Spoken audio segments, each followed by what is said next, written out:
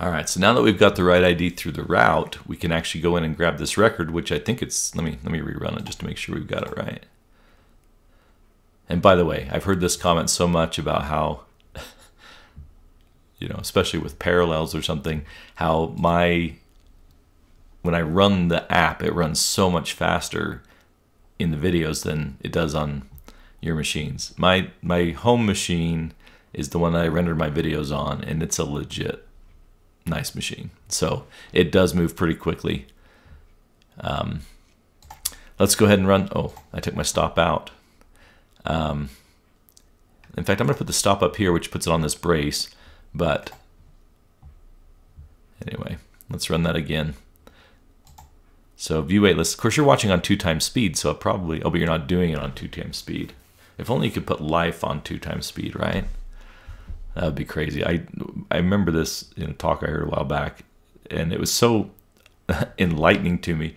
Which was the the woman who was speaking said that she remembers wishing that she didn't have to sleep so she could get more done in a day, and then the thought coming to her and saying, "Why would you want that?" like it's so true. Like why would you want that? That that'd be crazy. Like sleep is a time to rest and relax and get rejuvenated. And why would you want to eliminate that? And so it's been eye opening to me to think about having times in our lives just to rejuvenate in general. Anyway, that's not why you called. So if I click on edit now, George Michael Bluth, we get that uh, ID 3 has come in. And so if we step now, now there's a step into which will go like let's say I call a method, it will step into that method so it'll go shift screens to wherever that method is and then come back. Or I have a step over, which is to just go to the next line in this particular uh, method that we're looking at.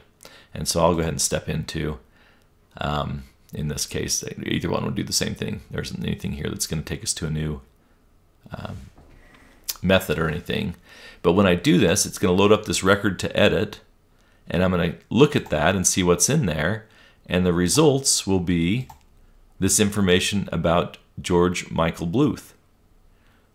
So we've got that loaded up now. And then what I need to do is, now that I've got this loaded up, is to pass this information to the dating application view so that it can be populated in that view. All right, so let's see if this works. I'll go ahead and save all that rerun my app. There's been a question about whether you can just leave the browser open and then just refresh, refresh, refresh. If you're only working on the front end, then you can do that. But if it's a page that's being generated by ASP.NET, you can't do that. This, these pages don't exist. They're being built on the fly, and so it, it doesn't make sense to uh, already have it down at the client and make those changes. We have to build the page, and so that's why we have to actually rerun it even though it's a little slow um, to build. The reason it's slow again is because of all the, the technology and benefit that comes along with it that ends up being overhead for us. So anyway, we'll click on the edit again. So I'll click on this and uh-oh. What it wants, it said what was passed in was something called an uh, entity queryable and what it needs is a, an application. All right, this one was actually unintentional. Sometimes they're intentional, sometimes they're not. I may need to tell it specifically what I want.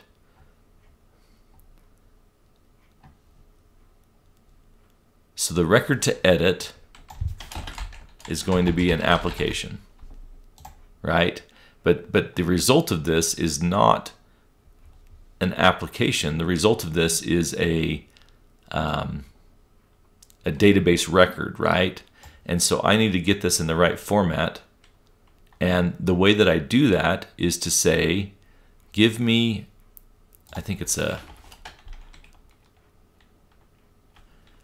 so, so what I'm getting here is, how do I explain it? This is going to be a group of data, even though it's only one record.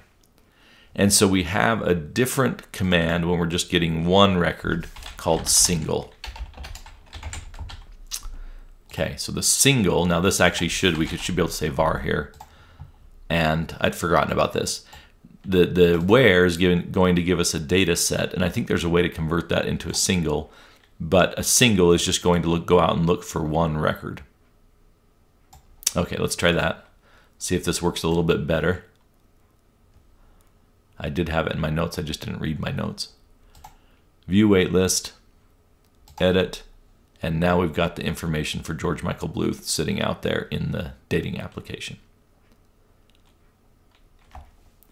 All right, so let's make a change and say he had a birthday, he turned 17, and we submit the application. First of all, that wasn't great. It didn't take us anywhere after uh, on this submit application action. Um, so we got to solve that. But then the other part that's going to be interesting is, um, well, let's see what even happened. Did it do anything in the database? Did it make the change? Let's open our database and go look at the data and it didn't make the change currently. It didn't do anything. And so I guess the first thing we need to solve then is how do we on the on that save? So we're reusing this dating application um, twice, and it's got this um, add blah, and it's got this you know, save changes after we've added a record. Um, so we're on that dating application form making these changes. So we reuse that form. How do we get it to update in the case of an edit? So this action is a what? This is this is a HTTP GET, right? Because we're accessing the, the form for the first time. And what happens when they post the information? Well, let's just try this. So HTTP post public action result, and we're going to say edit. And when they edit, what type of information is going to come in? Isn't it going to be an application? It's even giving us a little name here for app, trying to build this code for us. And so, um, and, and, let's just for now say return um, the view. Let's just see if we can even get here. So return the view, which we're just going to go back to the edit form, but that's okay. I just want to see, do I even get to this statement when I run this app? So I go in, load it up, view wait list, and then I edit, and then I make the change, 17, submit application, and sure enough, because the view in the action where we are is the edit, it's going to return that view and it's going to have all this information about the, the including the, the updated age about this record. Okay. And so what I'm going to do is make a couple of calls. One is I'm going to call that context file, which has the database, and I'm going to update, and then it's just update, and then we pass it what information are we updating with, and so I'm going to say app, which is just this variable right here. So maybe I'll call it something different, updated info. Okay, then here I would need to say this is updated info. Okay, so that's passed in.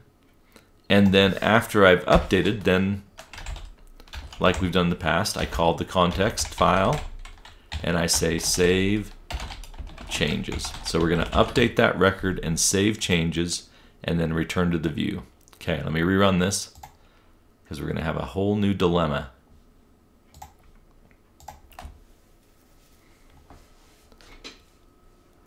So I'm now using the post action, and again, because when I'm editing the record, my uh, action is edit. So when I post, we're going to get right back to that action. I'm going to change his age to 17, submit the application, and oh, well, this was not what I was expecting, but it is an error. So it's saying it can't find the view edit.cshtml. Okay, let's see if we can resolve this one in the next video. Spencer out.